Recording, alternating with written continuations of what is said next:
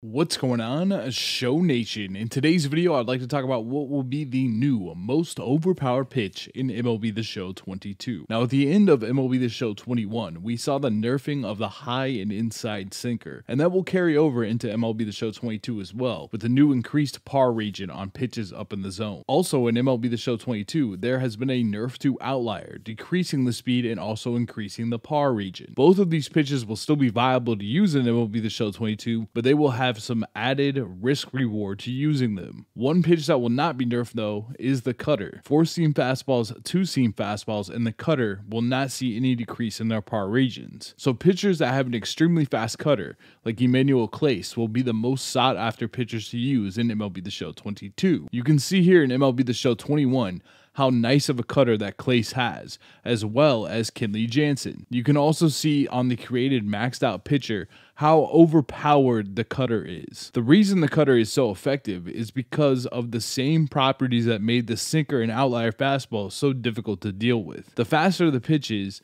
the less time the hitter has to react. If it has movement like the sinker did, even better, and the cutter has plenty of movement. So when you're looking to get new cards in MLB The Show 22 Diamond Dynasty, be sure to look for cards that have a good cutter.